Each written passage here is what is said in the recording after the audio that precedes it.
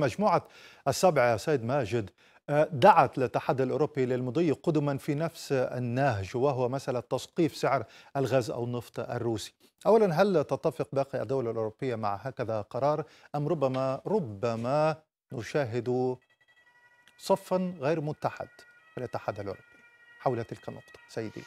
يعني اولا ضمن الدول مجموعه الدول السبع هناك يعني أربع دول أوروبية يعني عندك فرنسا بريطانيا ألمانيا إيطاليا هي دول مقررة في صحيح. ضمن الفضاء الأوروبي وضمن الاتحاد الأوروبي هي الدول الرئيسية في الاتحاد الأوروبي ثانيا طبعا إحنا عم نحكي عن الاتحاد الأوروبي مش عن الاتحاد السوفيتي مثلا أو الاتحاد الروسي، الاتحاد الأوروبي كدول يعني تتبنى الديمقراطية والنظام التمثيلي طبيعي حيكون هناك آه، وجهات نظر وحيكون هناك تعددية وهناك تمايز وعلى الأقل ستنحو هنغاريا كما لاحظنا منذ بداية صحيح.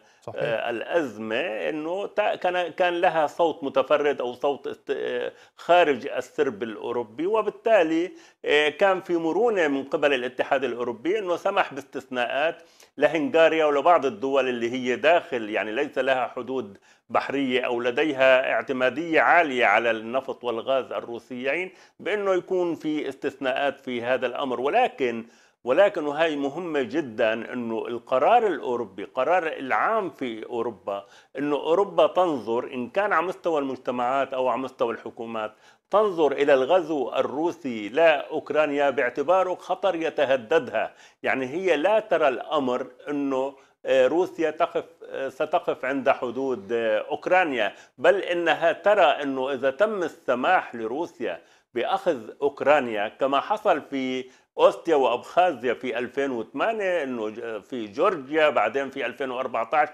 بأوكرانيا ذاتها الدومباس وشبه جزيرة القرم واليوم أوكرانيا كلها إنه إذا تم هذا الأمر قد يذهب تذهب الحكاية لعند دول البلطيق وبولونيا وبالتالي ألمانيا. إذا هن بيشوفوا الخطر المتمثل في الغزو الروسي لأوكرانيا باعتباره هو تهديد لأوروبا كلها ولنمط الحياة الأوروبي لكن هناك هناك بعد لا يجب أن يغفل يا سيد ماجد.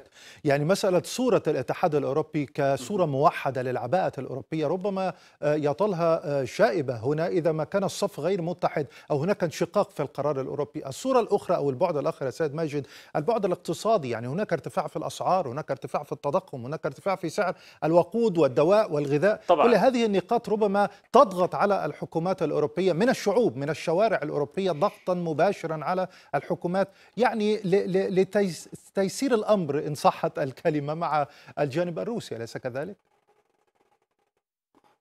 طبعا ما تتحدث عنه هو آه، صحيح وأكيد وفي منه ولكن لا يجب أن نبالغ بهذا الأمر إنه الناس يعني في الشوارع أو في هزات اجتماعية لا.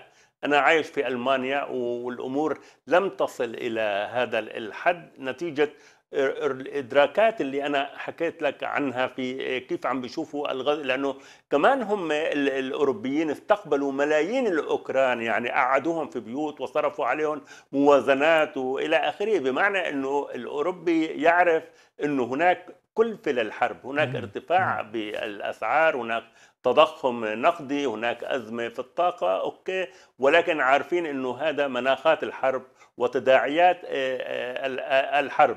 هذا هذا هو الأمر إنه كيف الأوروبيين بيشوفوا آه، الحكاية اللي اليوم إحنا بصدد نقاشها. وضع معقد ووضع صعب وأكيد إنه من روسيا هناك ثمن والاتحاد الدول الأوروبية تدفع ثمن ولكن هو الصراع إنه أنت تمول آلة الحرب. يعني آه، بدي أقول لك إنه فاتورة فاتورة النفط والغاز آه، الروسية شهريا بلغت 20 25 مليار دولار. يعني أنت كأنك لما عم تأخذ هذا هاي السلع كأنك عم بتمول الآلة العسكرية آه، الروسية. هذا اللي بيشوفوه إنه يجب وضع حد لهي الفاتورة ويجب التحرر من الارتهان للنفط. والغاز آه، الروسيين حتى يعني آه، يتم الضغط على الرئيس بوتين. هذا هو الحل إنه كيف بدهم يواجهوا الغزو الروسي لأوكرانيا. ما في حل غير في حل بالحوار ما مشي الحال. العسكر لا يريد لا تريد أوروبا أن تذهب نحو العسكر ولا الولايات المتحدة الأمريكية. هي حرب لذلك إحنا شايفين إنه هن يحاولوا أن تبقى حدود الحرب داخل أوكرانيا. وما بقي غير الضغوطات الاقتصادية لإجبار بوتين على الجلوس على الطاولة وإيجاد حل سلمي لصالح الشعبين الأوكراني والروسي ولصالح الاستقرار في القارة الأوروبية.